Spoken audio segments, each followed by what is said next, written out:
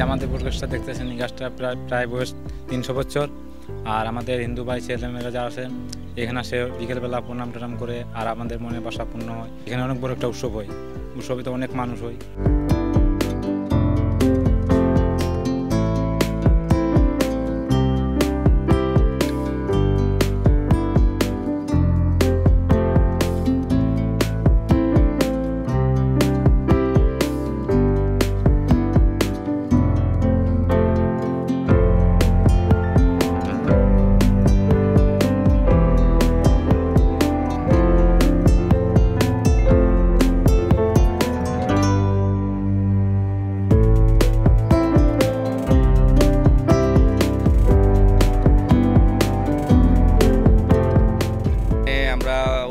করি এবং যারা হিন্দু, সনাতন যারা আছে, এখানে সব সময় আমরা আসি। এখানে ভালো লাগে এবং এই বট গাছের মধ্যে অনেক কিছু আমরা পাওয়া গেছে এবং আমরা পাই।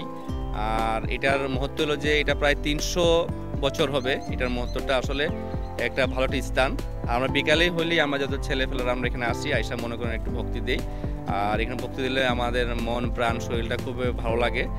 আর এই ভালো নিয়েই আমরা মনে করি চলতে চাই।